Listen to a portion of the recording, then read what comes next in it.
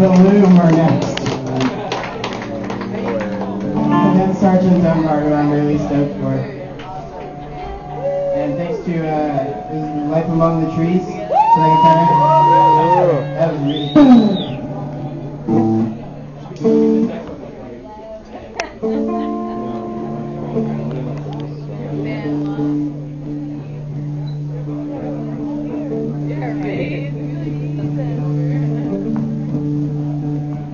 I know there is light in each crack, in each corner, but I cling to the darkness forever.